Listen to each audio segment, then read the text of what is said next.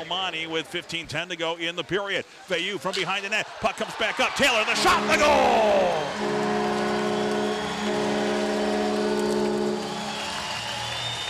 Justin Taylor on the power play.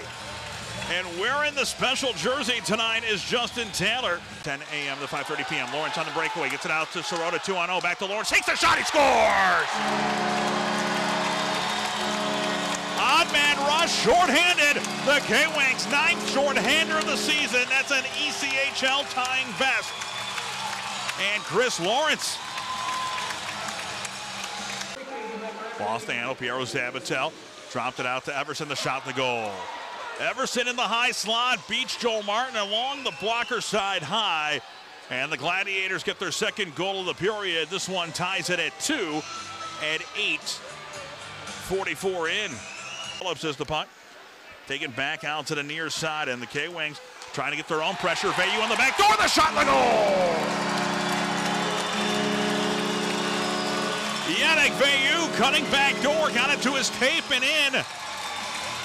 And Yannick Veilleux getting the K-Wings back ahead.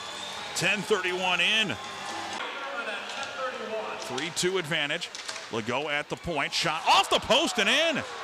Legault dropped it back down to the blue line. And Antoine Corbin off the post and in his fourth of the season. Tip back ahead on the neutral zone. It will be line on one side. Everson to the left. Everson comes in. The shot. He scores. Everson is second of the game eighth of the year.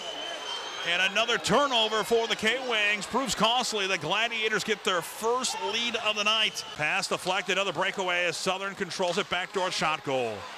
Bludoff gets the goal and four turnovers for the K-Wings have led to three goals for the Gladiators. Neutrals on to Carrier. As Taylor to his left, two on two as they carry the zone. Carrier, high slot, has the angle, takes the shot, he scores!